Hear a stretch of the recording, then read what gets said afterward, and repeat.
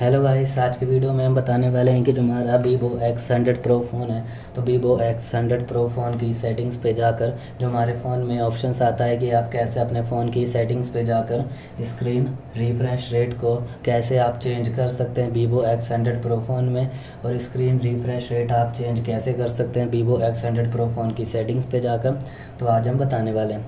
कि X hundred pro phone की settings पे जाकर रिफ़्रेश रेट को आप चेंज कैसे कर सकते हैं? एंड आप रिफ़्रेश रेट को कैसे बदल सकते हैं Vivo X hundred pro phone में? तो बताने वाले हैं। तो वीडियो स्टार्ट करने से पहले हमारे चैनल को लाइक करें सब्सक्राइब करें और साथ में ही बेल आइकन दबाना ना भूलें।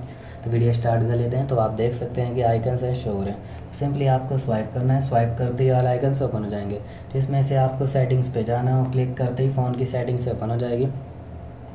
तो आप कैसे फ़ोन की सेटिंग्स पे जाकर रिफ़्रेश रेट को चेंज कर सकते हैं और रिफ़्रेश रेट को कैसे आप बदल सकते हैं? तो सिंपली सेटिंग शो हो रही है।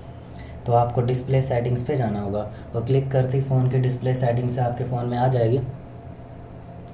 जहाँ से screen sorry screen refresh rate आपके फ़ोन में शो कर जाता है और जो भी आप रिफ्रेश रेट को चेंज करना चाहते हैं तो आप इस ऑप्शन के ज़रिए रिफ्रेश रेट को बदल सकते हैं एंड आप चेंज भी कर सकते हैं। कुछ इस तरीके से सिक्सटी हार्ट रिफ्रेश रेट आप कर सकते हैं।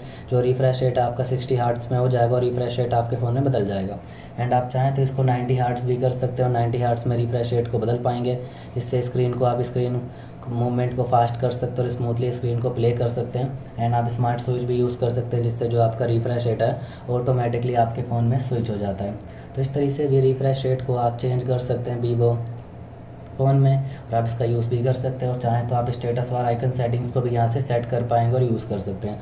तो आपको वीडियो अच्छी लगी तो लाइक करें सब्सक्राइब करें और साथ में ही बेल आइकन दबाना ना भूलें। थैंक यू नेक्स्ट वीडियो के लिए इंतज़ार करें वीडियोज़ को शेयर करें। थैंक यू वीडियो अच्छी लगी तो।